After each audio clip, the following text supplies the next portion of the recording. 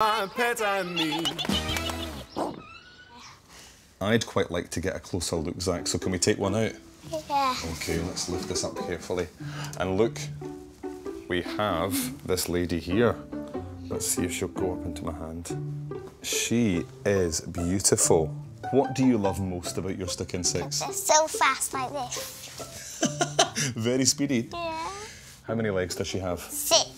Yeah, she does. And they help her to be a brilliant climber, don't they? Yeah. Now, what are these called? Antennae. Absolutely. Stick insects don't actually have ears and instead have these antennae which can feel vibrations in the air. It's so cool, isn't it, Rory? These are very cool creatures indeed. Thanks for watching. For more great videos on the CBeebies YouTube channel, just click here. Or if you'd like to see when we upload new videos or create a playlist for your child, you can. Just subscribe to the channel for free by clicking here.